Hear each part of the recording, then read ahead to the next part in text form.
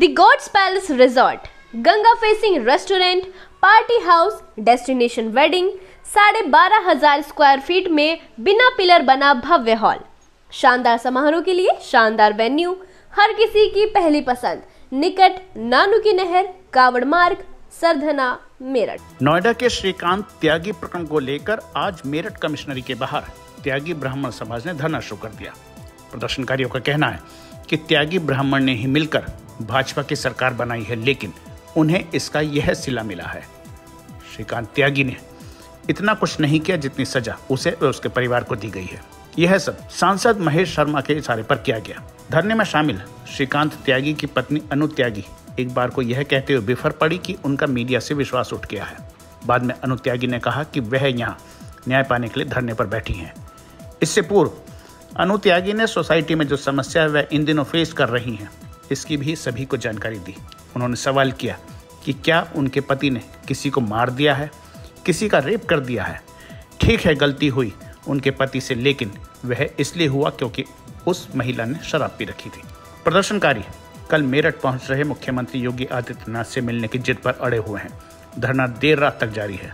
नमस्कार, मैं हूँ रवि शर्मा और आप देख रहे हैं फ़र्स्ट बाइटो टीवी दरअसल हाल ही में नोएडा की ओमेक सोसाइटी में एक महिला से हुए विवाद के बाद भाजपा नेता श्रीकांत त्यागी एकाएक ही सुर्खियों में आ गया था।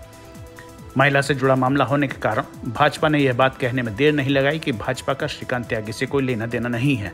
इस पर विपक्ष ने भाजपा के तमाम दिग्गज नेताओं संग श्रीकांत त्यागी के फ़ोटो वायरल कर दिए।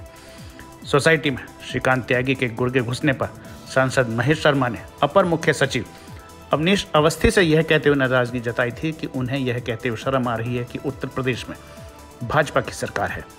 श्रीकांत त्यागी पर गैंगस्टर लगा दिया गया है। इसके विरोध में आज मेरठ कमिश्नरी पर धरना शुरू किया गया धरने को संबोधित करते हुए श्रीकांत त्यागी की पत्नी अनु त्यागी ने यह कहा। उनके खिलाफ कोई कार्रवाई नहीं कर रहा।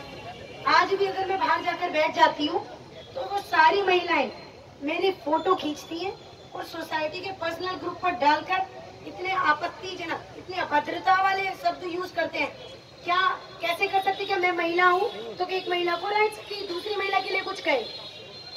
कहती कि देखो, कैसे बेशर्मों की तरह बैठी है। देखो, कितने चौड़े में बैठी है। ऐसा मैं उनको क्या कह रही हूँ? क्या मैं अपने घर के आगे नहीं बैठ सकती? क्या मेरे पति ने किसी को मार दिया क्या, रेप कर दिया? ठीक है, गलती हुई छोटी सी। शब्द निकल गया उनके मुँह से। क्योंकि वो भी उस महिला ने शराब पी रखी थी। अगर नहीं पी रखी होती तो शायद ऐसा भी कुछ नहीं होता। ना तो आज मेरे पति के बारे में, ना ही उनकी गैंगस्टर के बारे में, ना ही आज मेरे घर जो तोड़ा गया है, ना मेरे पेड़ों के बारे में को न्याय मिलेगा। और मेरी मामी जी, आपको नहीं पता कि अगर आज मैं उनको कॉल भी कर रही हूँ ना तो वो मेरा फ़ोन नहीं उठा रहे।